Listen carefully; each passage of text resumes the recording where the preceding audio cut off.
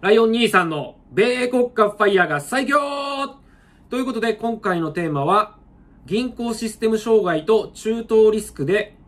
米国株投資家が今すぐやらなければいけない対策。このテーマについてお話ししていきたいと思います。はい。えー、昨日11月10日から UFJ 銀行やリソナ銀行など、まあ、多くの銀行にシステム障害が起こっており、えー、今なお、えー、復旧のめどが立っておりません。はい。で、えー、システム障害が起こっている銀行は、UFJ 銀行、りそな銀行、そして埼玉りそな銀行、えー、関西未来銀行、山口銀行、北九州銀行、えー、三菱 UFJ 信託銀行、日本カストデイ銀行、JP モルガンチェイス銀行、もみじ銀行、商工組合中央銀行において、えー、システム障害が発生しているそうです。はい。で、この障害の原因について、え僕から解説するというわけではなくて、まこういった障害が起きた時のために、どういった対策をしておかないといけないのかっていうお話をさせていただきたいと思います。はい。で、僕自身ですね、えー、今、会社経営ですね、法人でお金を運用しているっていうのと、あと、個人ですね、個人で資産運用もしています。えそしてなんと、この個人、失礼しました。この法人ですね、会社のお金のメインバンクが UFJ 銀行でした。はい。ただ、えー、この UFJ 銀行に、まあ、億を超えるお金が今入っているんですけど、はい。まあ、このお金は今、動かせないという状況ですね。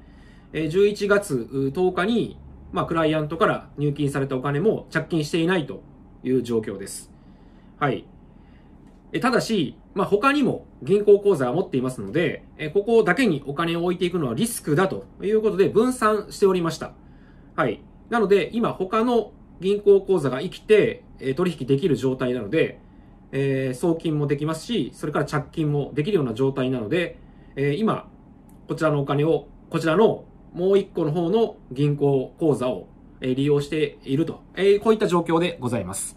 はい。もしこれ仮に大きなお金を持っていたとしても、一つの、えー、銀行口座だと、えー、本当に資金が凍結してしまった場合、システム障害で動かせない、あるいは凍結してしまった場合とか、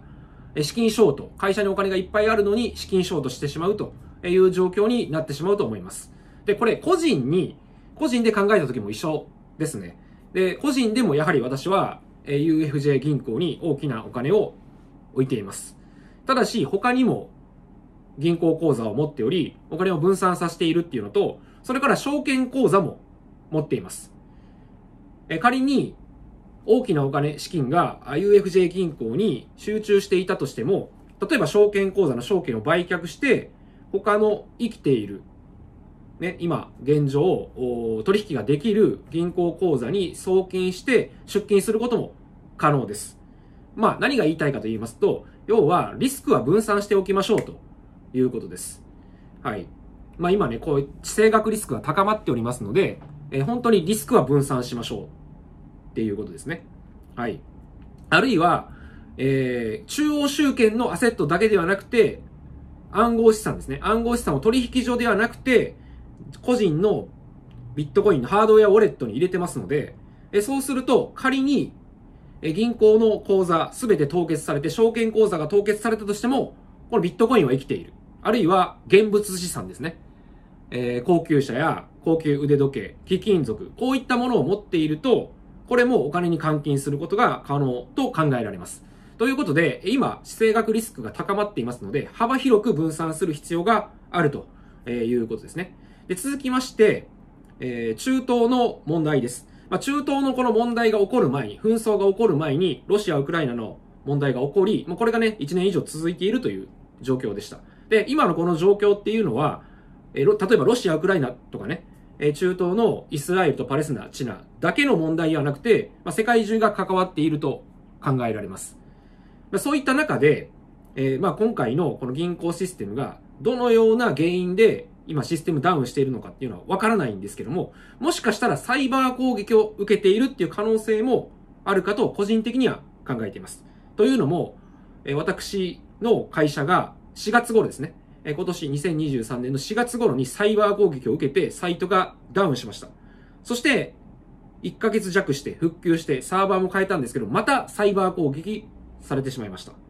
現状は、現在は上場会社のセキュリティのシステムを入れて、もうその後はずっとね、5月以降、サイバー攻撃がされていないという状況なんですけど、日本におけるこのサイバーセキュリティですね。サイバーセキュリティの技術はかなり低いと。そして、サイバー攻撃、海外からのサイバー攻撃の件数というのは、ここ数年毎年増加していると。こういった状況でございます。なので、いつ私たちの金融システムに障害が起きてもおかしくないと。こう考えながら、いろんな資産の分散っていうのを対策してきました。はい。そして今回のロシア、ウクライナによるマーケットへの影響、米国株への影響の話をしていきたいと思います。はい。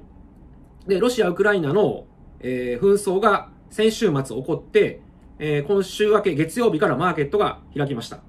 ただ、株価は反発しました。で、この理由なんですけども、えっ、ー、と、イスラエルですね。イスラエルが戦争が始まったことによって、通貨、そして債券、株式のトリプル安と、こういった状況になっています。えそしてこの通貨を支えるために外外貨準備金、ドルで、ドルを売って、えそして、えイスラエルの通貨を買って買い支えるみたいな、えこのような取引になるということですね。で、この時に FRB がさらに利上げをすると、イスラエルにとってはかなり苦しいという状況になります。えそして、FRB の、え、メンバーの中から、ま、イスラエルに配慮して、もう追加の利上げはいいんじゃないかっていうハト派的な意見が結構出てきたと、えー、いうことですね。で、その理由として、イスラエルの、えー、フィッチャーさんという方が元 FRB の副議長だったんですね。このフィッチャーさん、元 FRB 副議長の、まあ、弟子みたいな方が今、現 FRB メンバーにいたりすると。これはね、昨日の WBS で、えー、そこから、あの、はい、学ばせていただきました。はい。まあ、そういったこともあって、現 FRB メンバーから、ハト派的な発言が出て、そして4.8%まで上がってきた金利が現状4.6%ぐらいまで下がっていると、えー、いうことで、現状のこの米国株相場っていうのは、金利による影響が大きいということですね。金利低下して株価が反発しているというような状況です。まあ、昨日、テック銘柄は小幅にね、下落していたんですが、ですが、まあ、あの、防衛関係の銘柄であったり、サイバーセキュリティとかね、このあたりは、まあ、反発して、上昇していると。まあ、こういった状況でございます。はい。最後にまとめに入っていきますけども、今、世界的に地政学リスクは高まっていると考えられます。まあ、私たちね、えー、日本国民も関係ないことではないということですね。はい。なので、とにかく、今までの常識を覆すような出来事が起こってもおかしくないということです。コロナだってそうだったと思います。なので、えー、資産っていうのは幅広く分散する必要があると。この考え方をまず持っていきましょう。そして二つ目に、えー、戦争とかいろんな、あ今ね、地政学リスクが高まっているんですけど、そうすると、大衆心理はどうなるかっていうことなんですけど、悲観的になると考えられます。大衆が悲観的になってリスクオフで資産が下落するときっていうのは逆に買い場だったりするわけなんですね。この投資っていうのは大衆心理と逆のことをするっていうのが正解だというのは著名投資家も何人もこのような発言をしています。私もその通りだと思います。はい。ということで、ライオン兄さんの公式 LINE メルマガでは、米国株の絶好の買い場が来た時ですね。それは過去のデータから S&P500 の PR13 倍です。この PR13 倍の時に過去ですね、え株価っていうのはえ反発しております。はい、ちょっと出ないですね。はい、あ、こちらです。はい、PR13 倍の時に跳ね返っておりますので、コロナショックの時から、コロナショックの2020年の時と、これは2018年のクリスマス暴落の時ですねえ。13倍ぐらいで跳ね返っておりますので、私この PR を日々チェックしておりますので、13倍で跳ね返ったという時が来ましたら、公式 LINE メルマガで速報を出します。ぜひ概要欄の方から登録しておいてください。はい。えそして、え1冊目の書籍、書籍ですね。300万円ファイヤー。こちら8万部突破しております。こちらもね、ぜひ概要欄の方からチェックしてみてください。えそして、11月9日に新書が発売されます。え新 nisa 完全攻略ということでね、2024年から新 nisa が、えー、スタートするんですけども、その攻略本ですね。えこちら、Amazon で現在予約受付中でございます。えそしてなんと、この予約受付した日にですね、予約開始日に、えー、Amazon 総合ランキング1位となりました。はい、こちらの書籍です。はい、Amazon 総合1位を獲得しました。はい、こちら今現在ね、予約受付中ですので、ぜひ概要欄の方をチェックしてみてください。あとですね、こんな時だからこそ、